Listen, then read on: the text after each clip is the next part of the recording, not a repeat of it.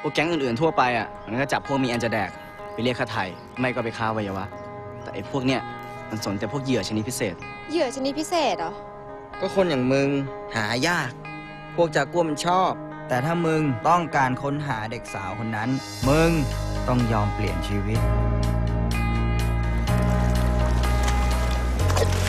เริ่มเรียนรู้ที่จะฝึกฝน เรียนรู้ที่จะไว้ใจ เรียนรู้ที่จะเกลียด และเรียนรู้ที่จะรัก